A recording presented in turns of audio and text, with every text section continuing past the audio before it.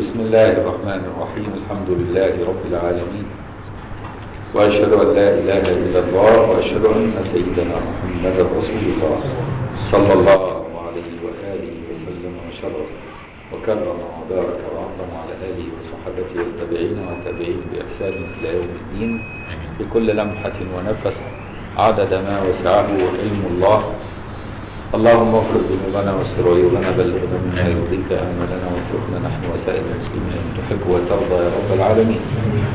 اللهم كما يسرت القرآن للذكر فيسره علينا يا رب العالمين. وارزقنا تلاوته وحفظه وفهمه وتبليغه والعمل به.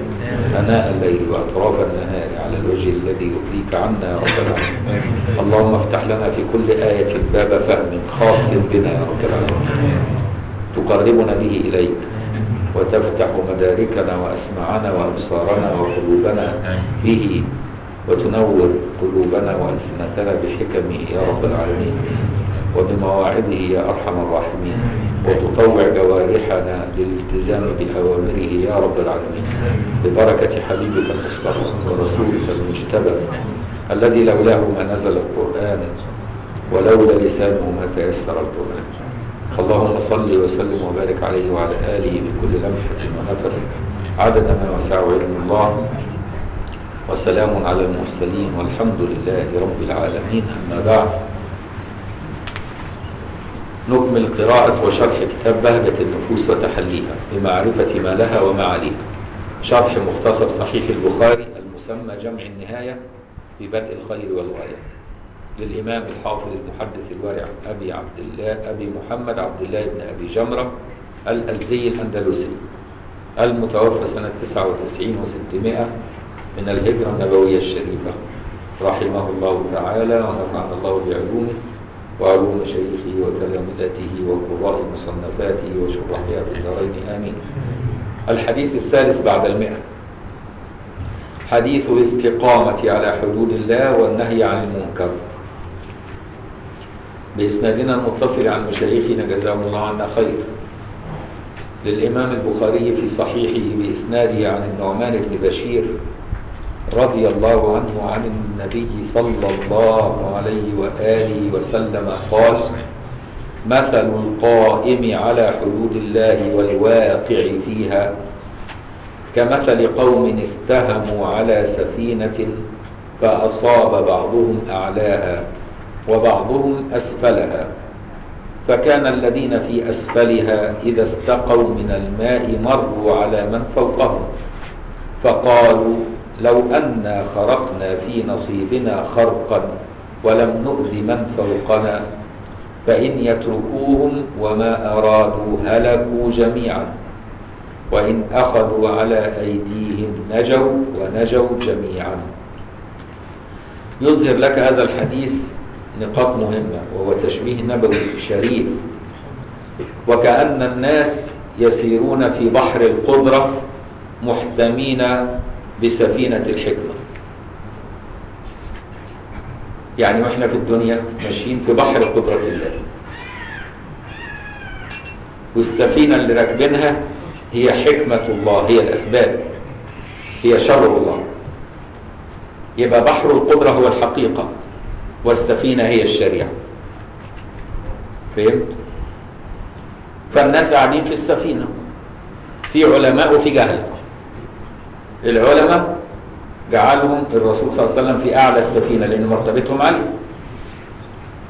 والجهلة الجهال بقوا في أسفل السفينة في قاع المجتمع بسبب جهلهم. الجاهل يريد أن يصلح فيفسد بجهل. فالجهلة قالوا إحنا كل ما بنحتاج مية بنطلع فوق بنأذي الناس اللي فوقينا. طب ما نخرم خرم يبقى هو يريد الإصلاح بالإفساد. والله لا يصلح عمل المفسدين. فيقولوا إيه بدل ما نأذي الناس اللي فوقينا وطول النهار طالعين نازلين ناخد مية ونعدي عليهم طب ما نخرم خرم كده في الحتة بتاعتنا وإيه والبحر ورانا على طول يدخل المية على طول ما نحتاجش نعدي عليهم. كويس؟ يبقى نعرف كده إن في من المسلمين من يفسد في المجتمع بحجة الإصلاح. ناخد بالنا من الحكاية دي لأن إحنا بنعاني من هؤلاء في كل عصر وفي كل مصر هو نيته بيقول لك عايز أصلح لكن لأنه جاهل يفسد. يبقى الإصلاح لا يكون إلا بالعلم. الأول لازم تتعلم. فهمت؟ وهم أرادوا أن يتعاملوا بالقدرة مباشرة. ربنا جعلهم من أهل الأسباب. أهل الأسباب معناه ياخدوا بالأسباب ويطلعوا ياخدوا من العلماء ويمروا عليهم رايح جاي وهم بياخدوا المية علشان يبقوا تحت عين العلماء. هم عايزين يبقوش تحت عين العلماء فيفقدوا الرقابة وفي نفس الوقت يتعاملوا مع القدرة بغير سبب. والتعامل مع القدرة بغير سبب في الدنيا امتحان شديد. امتحان شديد. اللي يجي يمتحن ربنا سبحانه وتعالى هيفتنه لأن ربنا أقامك في الأسباب خذ بالأسباب ولا تعتمد عليه. ولكن لا تنظر لقدرتي وتقول أنا مش محتاج أسباب. أنت اللي محتاج أسباب قدرة الله اللي مش محتاجها فأنت ما تتعاملش بقدرة الله تقول أنا مش محتاج أسباب. لأن الله قادر. لا أنت محتاج أسباب والله اللي مش محتاج أسباب. فهمت بقى إزاي؟ فهم بجهلهم عايزين يتخففوا من الأسباب ويتعاملوا مع بحر القدرة مباشرة ويخرقوا نواميس مراد الله بسبب جهلهم. ومعنى ذلك يغرقوا في بحر الحقيقة. فإذا غرقوا في بحر الحقيقة وليس معهم من الشريعة سفينة غرقوا فهلكوا. فهمت إزاي؟ لأنه فقدوا سفينة النبي. شوف بقى تشبيه النبي جميل إزاي؟ عمل لك صورة كاملة للحياة والمجتمعات المختلفة في كل عصر وفي كل مصر صالحة لكل زمان ولكل مكان. هذا الفصيح السيد الفصيح صلى الله عليه وسلم. خير من بلغ ما حدش كان يعرف يصور الصورة الكبيرة دي بهذا التفصيل البسيط الايه البليغ المعجز في نفس الوقت. يبين لك مرتبة العلماء ومرتبة الشريعة ومرتبة الحقيقة والطريقة هو أن تمر على العلماء. يبقى جاب لك الشريعة والحقيقة والطريقة. الطريقة أن تكون تحت عين العلماء يعني تكون بميزان العلم. لكن هم فكروا مش بميزان العلم. قال لك إحنا مالنا باللي فوقينا. إحنا نخرم لنا خرم هنا وناخد شوية مية. عارف لو استشاروا العلماء؟ لو يقولوا اوعوا كده تغرقوا كده هتموتوا. يقوموا يفهموا. فهمت بقى المثال عشان كده العلماء لو سابوهم هيغرقوا معاهم. يبقى العالم لابد أن يؤدي دوره ويعلم الناس وإلا يغرق مع الناس. ويصير العلم حجه عليه لا له. فكل يؤدي دوره. الجاهل يلتزم بإشارة العالم والعالم يعلم الجاهل. فهمت إزاي؟ ونتأدب مع نواميس الله في الحياة فنحترم الأسباب ولا نخرقها ولا نود أن نخرقها. بل نتعبد الله بالأسباب فنحافظ على سفينة الأسباب التي تسير في بحر قدرة الله سبحانه وتعالى. حتى نصل إلى البرازخ حيث البعث والنشور ثم في الجنة بعد كده هتعيش في الجنة من غير سفينة من غير أسباب مع القدرة على طول. فأنت ما تستعجلش ومن استعجل شيء قبل أوانه عوقب بحرمانه. فهمت بقى إزاي؟ هم استعجلوا. عايزين يتعاملوا مع القدرة على طول. يعاقبوا بحرمان ذلك فلا يدخلوا الجنة. حيث التعامل مع القدرة مباشرة في الجنة. فتلاقي كل قواعد الشرع الشريف موجودة في هذا المثال. فهمت؟ دي نقطة مهمة. ناخد بالنا منها. بيتكلم بقى هنا الشيخ أبو جمرة يقول ظاهر الحديث يدل على أن الذين يظهرون المناكر إذا لم يغير عليهم هلكوا وهلك الذين لم يغير عليهم. وإن غير عليهم نجوا الجميع والكلام عليه من يعني لو سيبنا أهل الجهل يتعاملون بجهلهم وإفسادهم وفسادهم هنهلك معاهم لأن إحنا كلنا في سفينة واحدة؟ فلا بد أن كل يؤدي دوره منها أن يقال ما معنى النجاة وما معنى الهلاك؟ فالجواب احتمل أن يكون حسيا ويحتمل أن يكون معنويا. فأما المعنوي فإن الواقع في الذنب قد أهلك نفسه لما يؤول إليه من العذاب بسبب ما فعل. يعني اللي يقع في الذنب هيقول به في الآخر إنه إيه؟ يعاقب في الآخرة. صحيح أنا مش شايف عقابه الأخروي الآن ده يقوله يبقى هنا العقوبة معنوية لأن أنا مش شايفه. فهمت إزاي؟ والذي لم يغير عليه مثله لأنه أمر بالتغيير عليه. فلما لم يغير عليه وقع هو في ذنب آخر وهو تركه التغيير المأمور به فأهلك نفسه بما يؤول إليه من العذاب أيضا. لأنه ربنا هيسأل العالم عن علمه ليه سبت الناس في جهلها؟ تعصاني ولم تأمرهم وتنهاهم وتربيهم وتأخذ بأيديهم إليه فإن أخذ عليه وأقام عليه آه. فلما لم يغير عليه وقع هو في ذنب آخر وهو تركه التغيير المأمور به فأهلك نفسه بما يؤول إليه من العذاب أيضا. فإن أخذ عليه يعني على المفسد وأقام عليه حد الله تعالى عقوبة الله يعني في الدنيا قبل الآخرة المفسد يعاقب. ربنا قال لك إيه؟ اقبض عليه قيم عليه الحد عذره علمه. أي عقوبة من العقوبات؟ فقد نجا الفاعل للذنب بالحد الذي أقيم عليه لقوله صلى الله عليه وسلم الحدود تكفر عن صاحبها ومن عوقب في الدنيا فهو كفارة له. وقد تقدم الكلام عليه في موضعه من أول الكتاب ونجا أيضا الذي غير عليه بإنكاره عليه وأقام حكم الله تعالى كما أمر وترتب له على ذلك الثواب الجزيل. وقد أثنى الله عز وجل عليهم بقوله وأمروا بالمعروف ونهوا عن المنكر. واحتمل أن يكون حسيا. حسيا يعني ممكن كل ده احتمالات الايه العقوبة المعنوية اللي هي التي تؤول به في الآخرة. واحتمل أن يكون حسيا يعني في الدنيا قبل الآخرة. شوف تشوف عقوبته في الدنيا. لأن صاحب المعصية يخاف عليه الهلاك في هذه الدار. وكذلك الذي لم يغير عليه بمقتضى الكتاب والسنة. أما الكتاب فقصة أهل السبت. عارف أنت أهل السبت لما في بني إسرائيل نهوا إن هم يصطادوا يوم السبت. فابتدوا يصطادوا يوم السبت. ربنا بقى إيه يخليهم الأيام اللي يروحوا يصطادوا فيها ما فيش حيتان فيش سبت. بيمتحنهم. ما هو مش ربنا سبحانه وتعالى لما حرم على الصحابة صيد البر قال لا يبلونكم بالصيد. يعني وانت محرم هتلاقي الصيد قدامك رايح جاي كده يخيلك علشان ربنا إيه يختبرك حرام تصطاد. أول ما يبقى مش محرم. ما فيش صيد الصحراء قدامه فاضي. أول ما يحرم يقول لبيك اللهم الغزالات تجري قدامه وكل الدنيا تتخيل قدامه عشان ربنا إيه؟ خير. ما هو قال كده يا أيها الذين آمنوا لا تق... لا إيه؟ لا لا تقتلوا الصيد وأنتم حرم.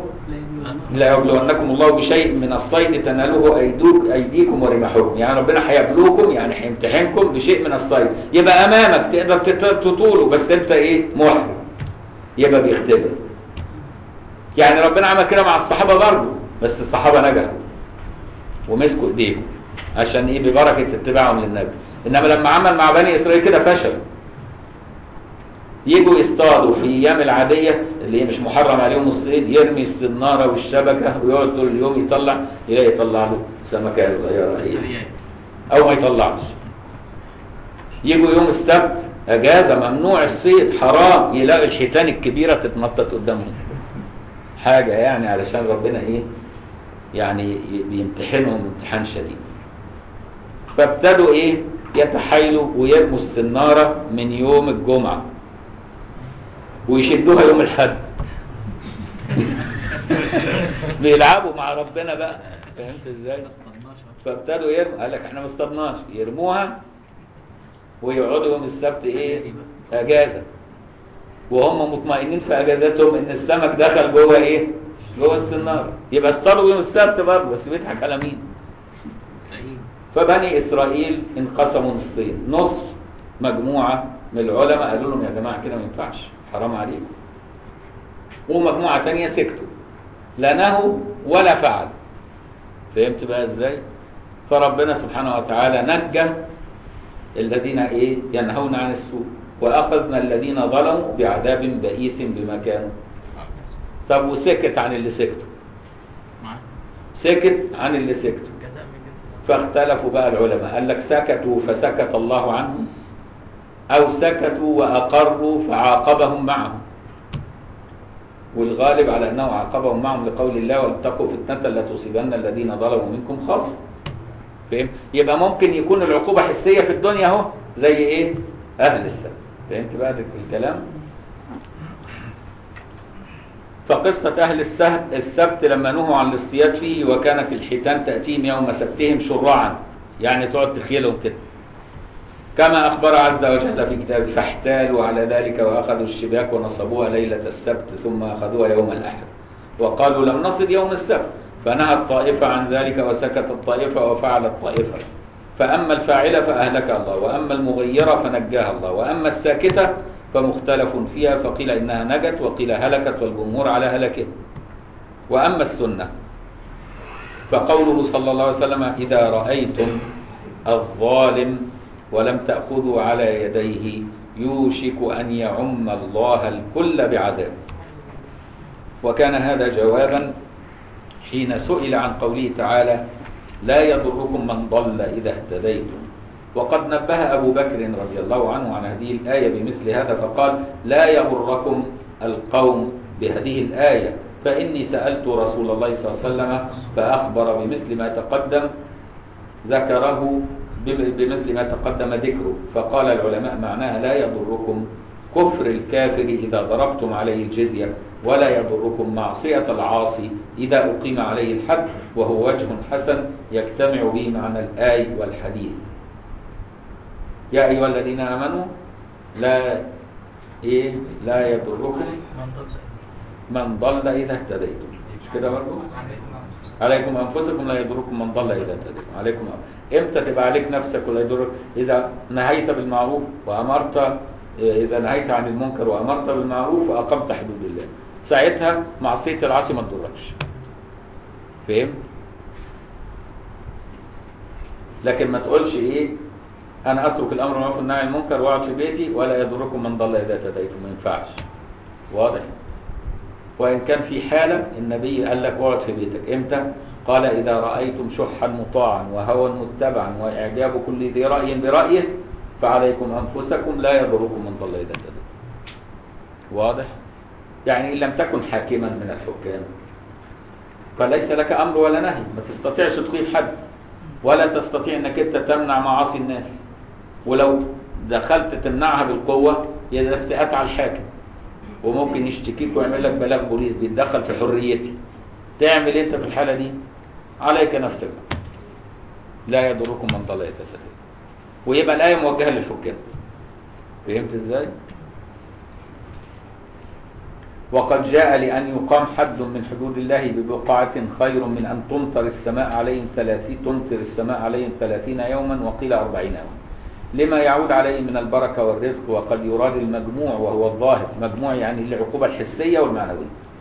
عقوبة في الدنيا عقوبة في الآخرة في المجموع. وهو الظاهر من الحديث لأنهم إذا تركوهم يفتحون في نصيبهم فدخل الماء فهلكوا. فهم تسببوا في هلاك أنفسهم ومن تسبب في قتل نفسه فهو هالك في الآخرة وهالك في الدنيا فهلاكه في الدنيا ذهاب نفسه وفي الآخرة دخول النار وهو أعظمها. وفيه دليل على أن الأولى في تقدير الحكم بضرب المثال يؤخذ ذلك من كون عليه السلام شبههم بأصحاب السفينة وفيه دليل على جواز الاستهام القرعة يعني لأن قوم استهموا. فإيه طلعت قرعة العلماء فوق وقرعة مجموعة تانية الجهلة تحت. يؤخذ ذلك من قول عليه الصلاة والسلام استهموا على السفينة. ورد طبعا الاستهام في الشرع الشريف في أمور كثيرة. لو علمتم ما في النداء والصف الأول ثم لم تجدوا لم تستهموا عليه لاستهموا فأجاز الاستهام. يعني افرض إن إحنا إيه اتنين مؤذنين وجاء وقت الأذان والاثنين ماسكين الميكروفون بيتخانقوا. أنا اللي أذن لا أنا اللي أذن أنا اللي أذن. افرض حصل حاجة زي كده. نعمل قرعة. نحل الإشكال بإيه؟ بالقرعة. وخلاص. نستهين جينا من الصف الأول اثنين إيه؟ لا أنا جيت الأول لا أنا جيت الأول. أنا عايز اقف في الصف اتخانقوا نعمل إيه؟ نعمل قرعة. فهمت بقى إزاي؟ وكذلك الرجل اللي عنده عدة زوجات وعايز يسافر وياخد واحدة بيعمل قرعة بين الزوجات. كما كان النبي كان يقترح يقترح بين زوجات. وكذلك عند القسمة والفرز والتجنيد اسمها قسم التعديل. عند الورثة لما يبقى عندهم ملكهم وشاع مشاع وعايزين نقسمها. نقسمها اكوام كويس؟ ونيجي بعد كده نعمل قرعة. مين اللي ياخد الكوم ده ومين اللي ياخد الكوم ده ومين؟ عشان ما يتخانقش فهمت بقى إزاي؟ يبقى ال- ال- القرعة بتجوز في بعض الأحوال. وكذلك عند القاضي. القاضي عايز اتنين شهود في قضية.